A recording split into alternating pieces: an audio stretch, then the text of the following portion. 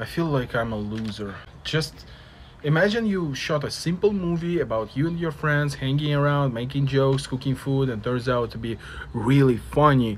Then you watch an independent horror film where a guy just shot corners of a house thinking that it would be scary and earns like 2 million bucks at box office uh, mostly because it was a single horror movie in movie theaters and then you think well there are no comedies in movie theaters right now so why shouldn't i text to distributors?